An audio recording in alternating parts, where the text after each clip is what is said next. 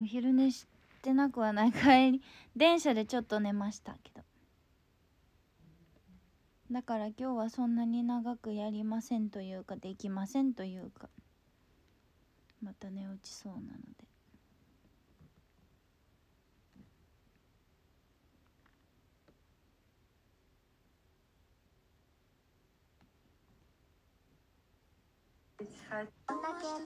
うわあインスタグラム開いたら急にかわよ洋服の動画が流れるよね。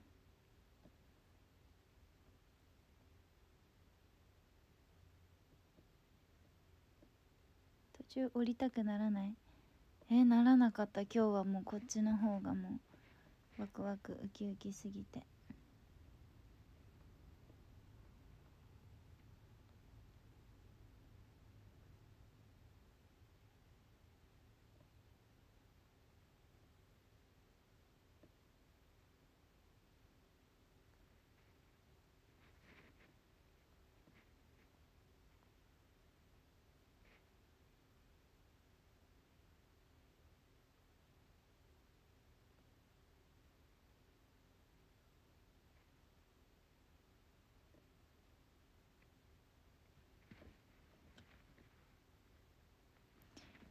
そう脱出行きました。それをご紹介。ちょっとだけご紹介したらもう本当にえぐぐらい眠いのであこれゴミだ。これ多分中見せられないから謎解きで。今日は先行販売されてた謎ガチャっていう謎な謎解きの単語帳のガチャガチャをしましたこちら。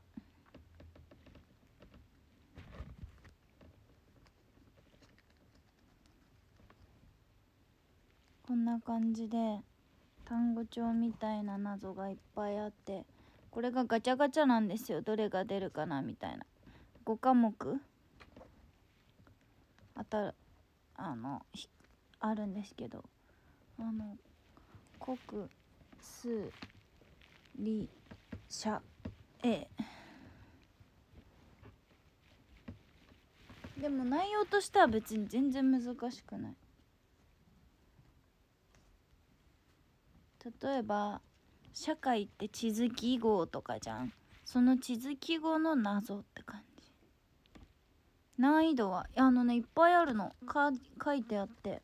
星1から星5まである。これをガチャガチャしたのとママがねお誕生日プレゼントに見てください。謎解きバインダー買ってくれたの。リアル脱出ゲームスクラップの謎解き用バインダー買ってくれました。クイズじゃなくて謎解きです。だから別に地図記号を地図記号として全く使ってない。マジ探検バッグ。ただの探検バッグ。今日もこれが大活躍でした。これを使いながらずっと解いてましたママと。しかもここも謎になってんのこのイラストが。2秒で解けた。あとはこれが今回の本編。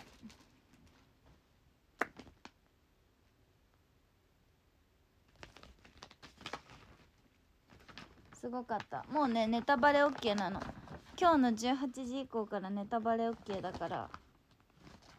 もう謎の。楽しかったです。これとかわかるかな。なんかこんな感じで幕張のイベントホールがこうやってなってて。なんか一個一個こうやって謎を解いてくんですよそこに行って。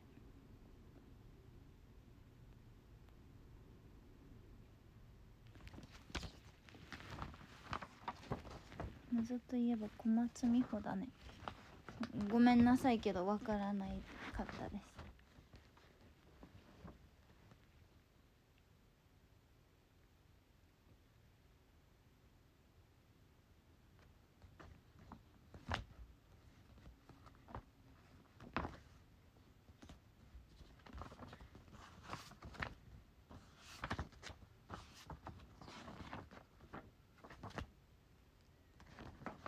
なんか歩いてそう順序自由で歩いて謎が解けたら次行こうみたいな。携帯で QR を読み取ってなんかこうやって金魚リストとかあってその金魚の場所にこの金魚があってそのなんだろう謎解きの会場とこの金魚を照らし合わせて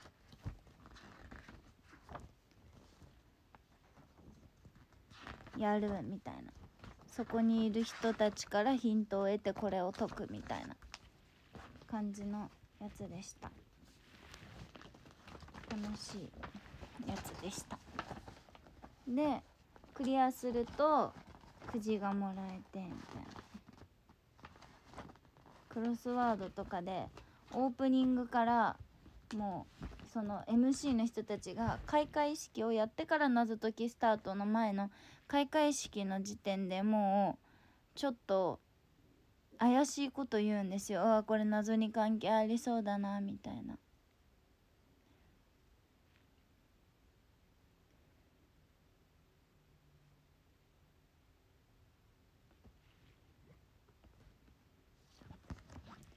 だから入園料？入園料じゃないけど夏祭りです。は5900円。え？付箋貼られる？なんて言ってた？入場料っていうかチケット？クラップの謎解きのチケット。スクチケです。お高いのねって言ったって展示ホール3つ借りてしかもああやってなってるし結構ちゃんとボリュームがすごくて1時間ぐらい解くんですけどボリュームすごくてもう結構楽しかったのとあとママがもう一つここの今回の謎解きのクリアファイルを買ってくれてこの中に謎が入ってるんですけどそれを解きながら電車で帰ってきたんですけどこれはちょっとダメだね。有料のやつだから。これは絶対ダメ見せちゃう。楽しかったです。このバインダーが嬉しい。久々なんか学生に戻った気分気分。気分探検バッグみたいな感じで。し今日6時半起きなんですよ朝。だからもう眠いマジで。眠いとかの騒ぎじゃない。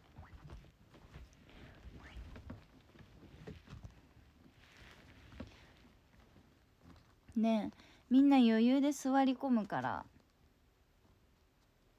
それがすごいおもろかったです。あそうだお父さんもうそろそろここで寝るか。エアコンつけといて部屋冷やしといてあげよう。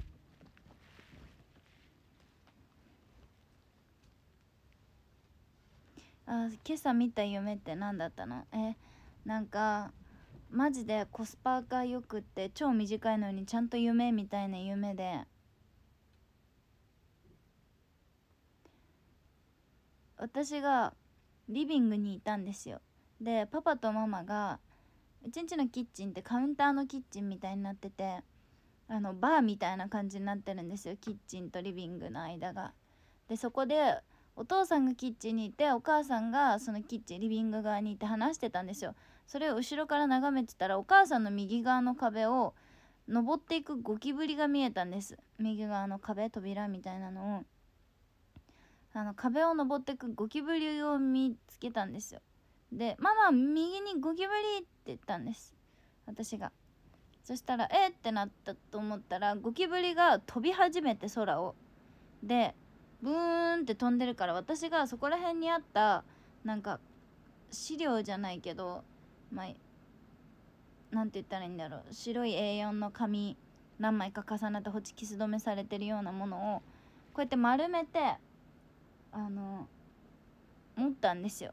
で私も急いでたから左手で持っちゃってでこうやって左手で持ってこうやってやったんですよ。そしたらここにいたここら辺にいたゴキブリをこうやってやったからそのままの遠心力で私のところに来てゴキブリを自分に向かって撃っちゃったんですよ。でうわーってなって起きるっていうマジなんて言ったらいいんだろう。あの本当になんて言ったらいいんだろう。ザ夢みたいな目覚め方と。本当にコスパいい。だってほんと2 3 0秒分だもん。その間。夢を見ました。面白かったです。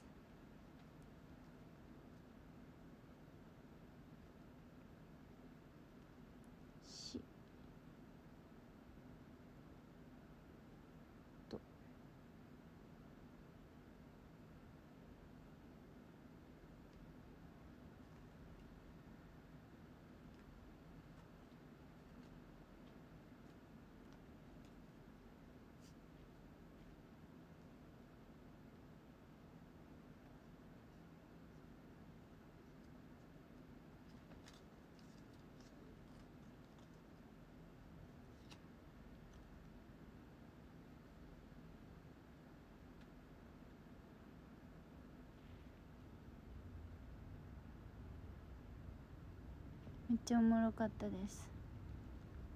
私は楽しかった。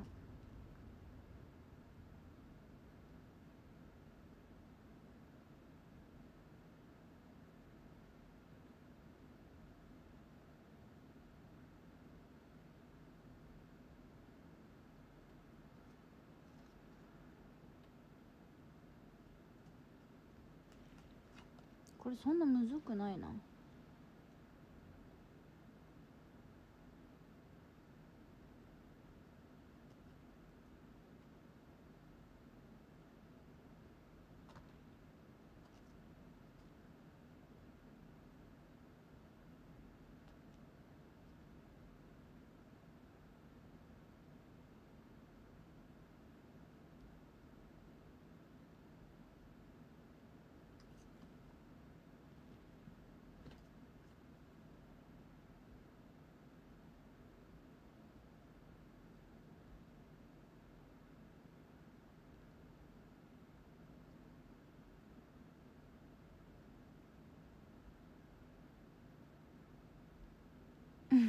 謎を一人でずっと解いてる。楽しい。ダメだ。謎があると私は解きたくあー寝っ転がったらもっとダメ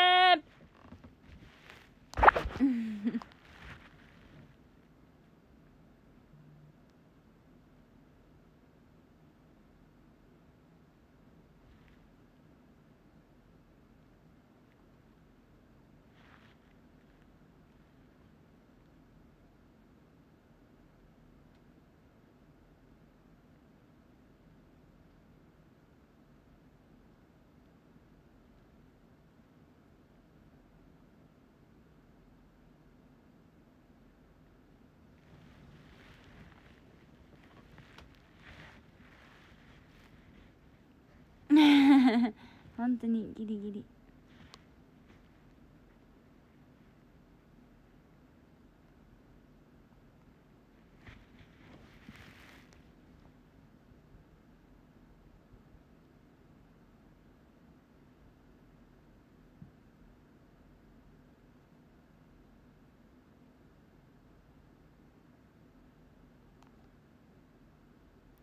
クロスワード得意そう。ああ得意かも。結構好きかも。お昼は会場の近くで食べたりしたの？いや。お昼私にだからご飯を食べるって概念が存在しないので。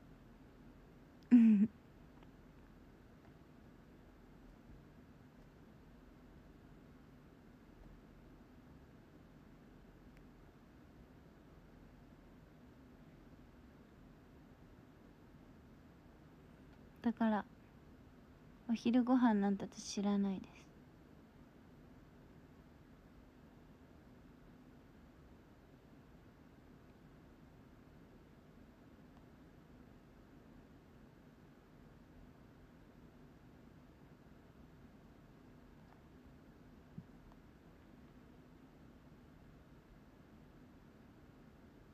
うん15分おめでとうあと4日あと4日で私は毎日配信が終わります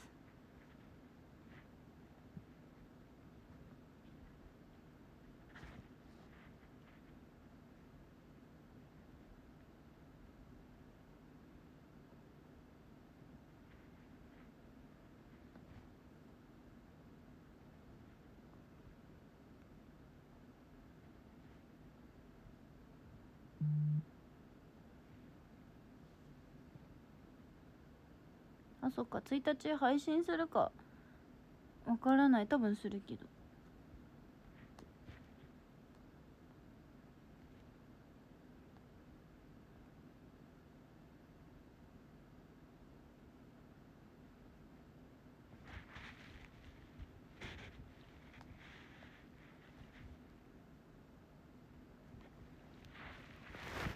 ねよく毎日配信続けたね。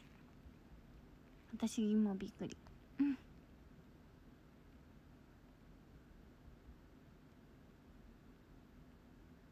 やばいめっちゃ眠い。全然しゃべんないじゃん私。なぜなら眠いから。テレレレテレビーン。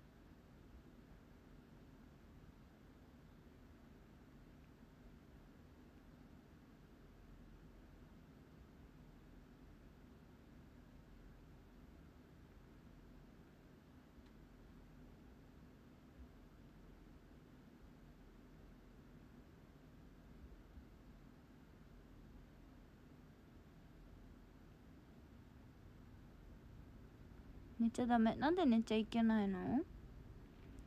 いいじゃんね寝たって。何も言われなかったよ。そういうことじゃないけど。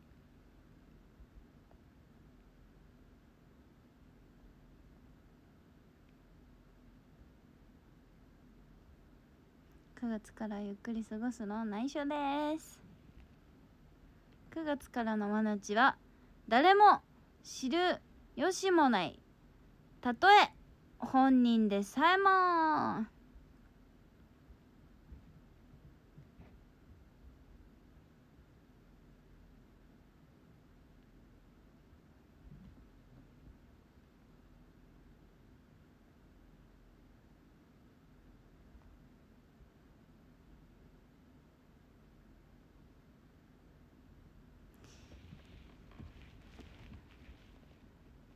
ツイートしてええねんで。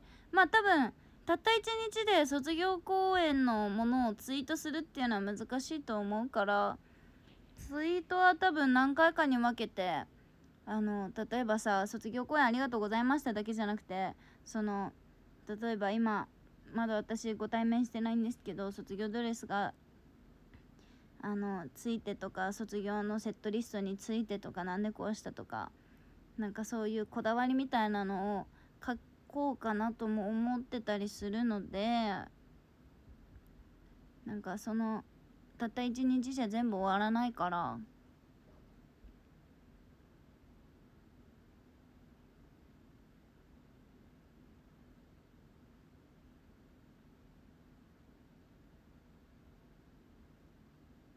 って感じです。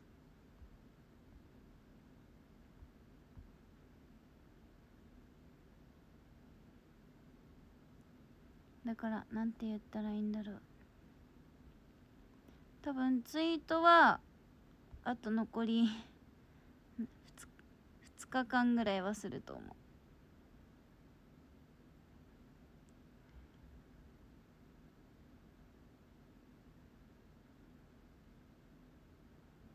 100日後に完結するツイート。時かけすぎるね。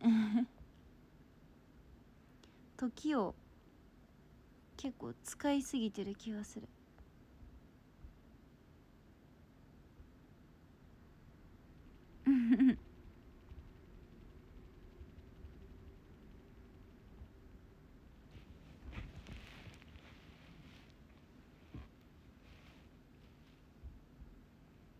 インスタグラムの DM は閉じるの？もともと開いてないけどね。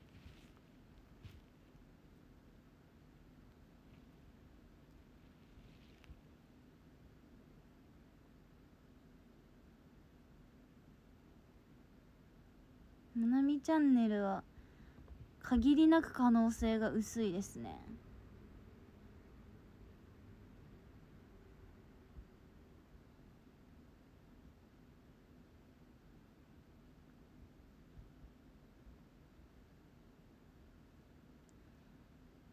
毎日ツイートはしないですね。もともとしてないのにもかかわらず毎日ツイートするなんてめちゃめちゃ大変。無理話すこと何もない。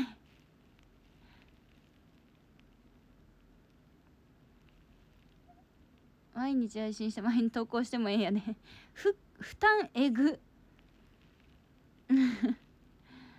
もう配信に時給発生してほしいじゃ。じゃなきゃ無理。だって私もアイドルじゃないから一般人の配信なら働く時間を割くから。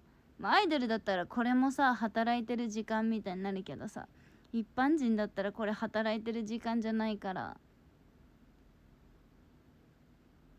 ツイッターで思い出した。誕生日あリプ来てたね。なんか日付過ぎてたし1時だったから。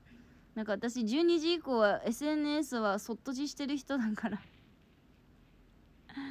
うん。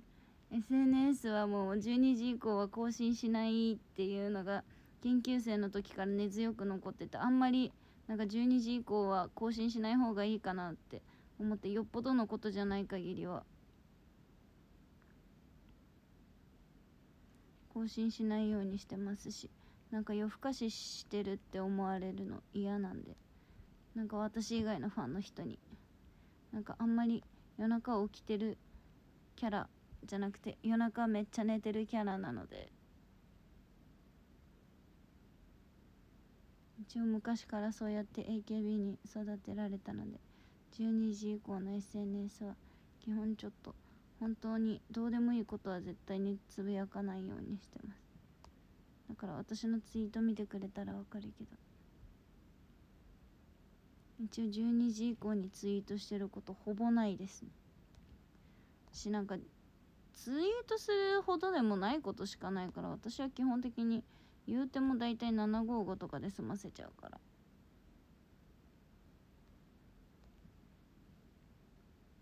基本的に寝寝寝てるキャラなんで。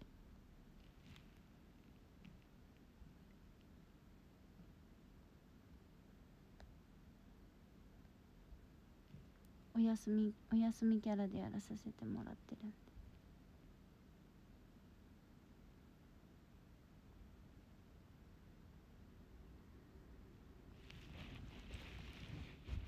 しなんか通知行くのもなんかね私がね一番ね12時以降ね SNS 更新しない理由は通知がもしもオンにしてる人がいたらその通知で起きてしまった時の申し訳なさ？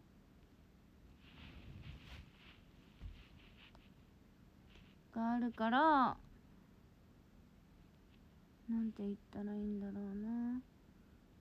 私はあんまり更新しないようにしてます。なんか前755に朝7時ぐらいに、まあ、仕事がその日めっちゃ早くって「おはよう」ってツイートしたら「まなみちゃんの通知で起きた」ってコメント来たことあってわ私の通知で人のことを起こしてしまうんだって思った瞬間にもうちょっとそういう時間の更新やめようかなと思って。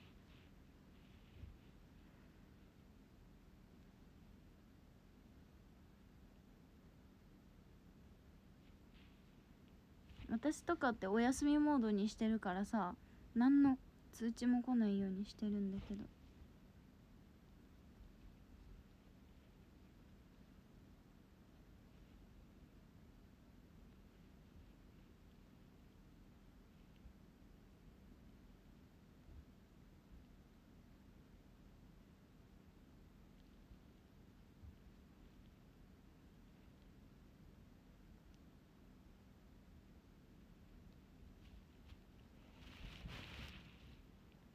通知で起きれる人になりたい。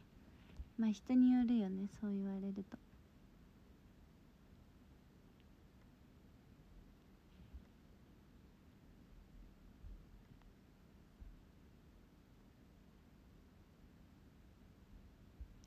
ということでそろそろ終わります。30分ぐらい配信してるのでね。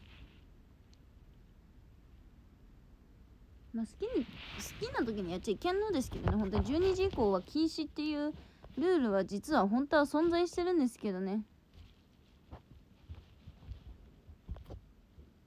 AKB48 には。アイドルの印象として夜更かししてるってよくないからね。そして私も夜更かししててもほんとゲームしかしてないからつぶやくほどのことでもないしなんか起きてるよアピールするのもなんかダサい気がして。それなんかもう高校生中学生がするものだから。なんか寝てないアピみたいなのは。なんかそう中学生とかがするようなことなんで。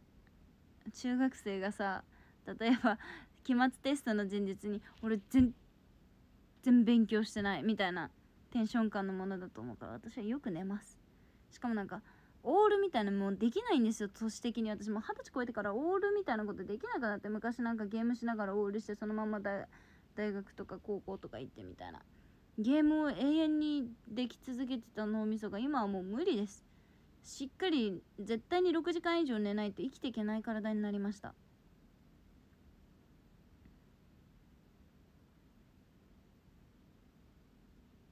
なのでそうなんかもう寝てない。アピっていうかもうもう寝てます。寝てないアピするほどのアピール何もない。だって寝てるんだもの。相田光雄が出ちゃった私の中。にそうそうそうそうそう。高校生とかまでよそのオールアピっていうかさ。なんか夜中までなんかしてて全然寝てない。みたいな。う んだからマジダサいからオールアピ寝てないアピしない方がいい。私はしっかり寝ます。できるだけ寝ます。配信しながら寝ます。しっかり寝ましょう皆さんも。睡眠は大事。しっかり寝ましょう。私も寝ます。いつも寝ます。お昼寝もします。ここ最近毎日お昼寝もしてます。配信しながらも寝ます。よく寝ます。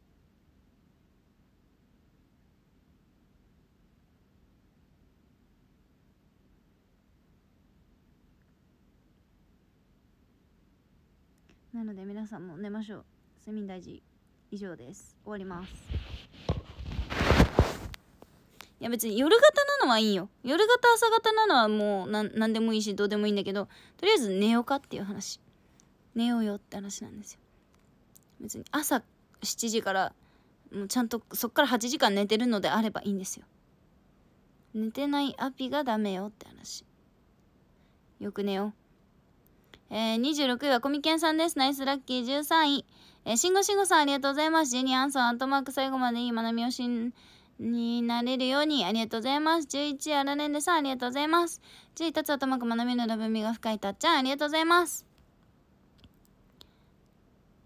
えー、っと、9位、マッツグさんありがとうございます。8位、りちゃんさんありがとうございます。7位、シャンクス頭ここで最後までボケ倒すありがとうございます。6位、アンジーさんありがとうございます。えー、5位、ギアアットマークマナチに出会えて幸せでした。ありがとうございます。4位、新鮮玉ねぎさんありがとうございます。3位、シマットマーク謎解き山ナチの後で ありがとうございます。えー、2位、ゴリさんありがとうございます。1位、アリナオさんです。ありがとうございます。イェーイ、ありがとう。